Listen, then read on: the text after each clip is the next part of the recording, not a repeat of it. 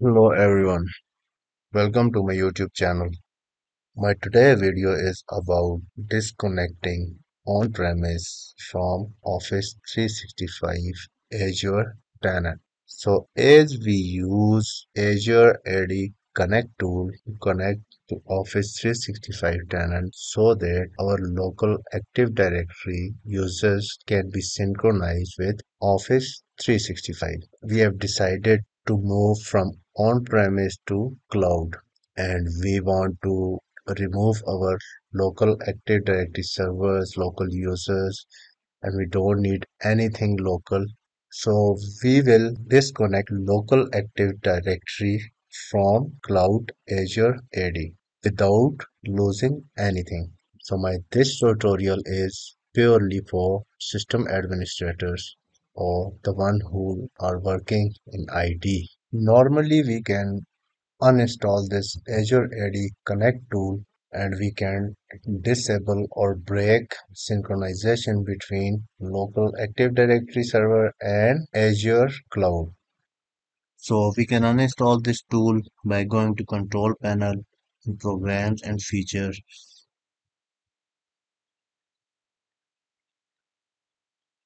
Let me try to show you how we can uninstall it by going to control panel. Basically my target of this lecture is to get everybody understand how we can do it via PowerShell. So for example, if our server gets crashed or if our Active Directory server gets offline for any reason or if we don't have access to our local Active Directory for any reason and we have to break a sync between local Active Directory server and Azure cloud. So by going to here we can uninstall this tool by going to uninstall. That's it regarding how we can do it normally and now let's learn how we can do it via PowerShell. So let's me open PowerShell as an administrator.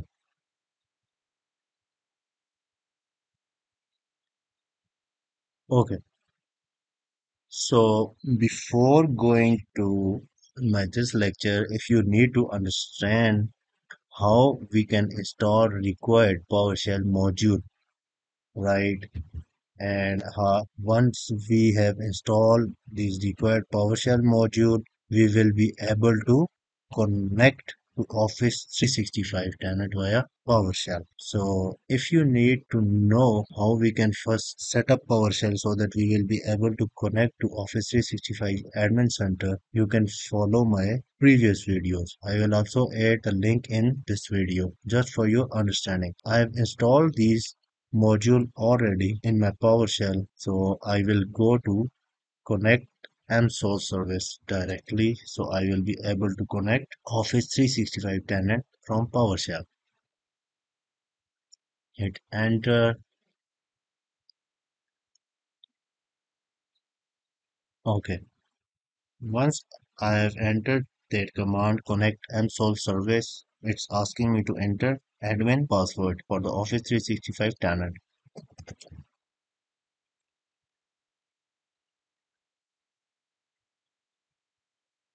I have entered the admin email. Now it's asking me to enter the admin password. So let's enter the admin password. Okay, now I have entered the admin password and hit sign in. That's it. I get sign in to Office 365 Admin Center and our Active Directory server goes down or get corrupted due to some reason like power issue or a hardware issue and now I am not able to change any user from Office 365 because of synchronization is in place. So now I have to disable Active Directory sync via PowerShell. There will be simply one command by which we can disable sync via PowerShell. We have to enter this command here set msol dir sync enable and enable directory sync is set to false and hit enter. Now I press enter and it's asking me to confirm. So I am confirmed. I want to disable my Active Directory sync with PowerShell because we have decided to move on a cloud and we have decided to remove our local Active Directory server completely. So I will select Y, hit enter. Okay, now I have selected Y and I press enter and it came to next line. Mostly this sync can be break in one or two hours, but the Microsoft recommendation for this sync is to wait for 72 hours. So for verification, let me stop video and I will start video again to check the status of sync. Okay. You can run this command to check the status of synchronization if it gets disabled or if it's still enabled. So I've entered this command and let's press enter. Let's wait for the status false. You see the status of local Active Directory and the cloud Azure Active Directory connection is set to false now. So if you want to re-enable it, you can simply enter true here in front of this command. You can simply enter true. Let me show you here. You can simply enter true and you can hit enter. Please note that enabling and disabling Azure AD Sync will take 72 hours. Only this single command can take 72 hours to get it done.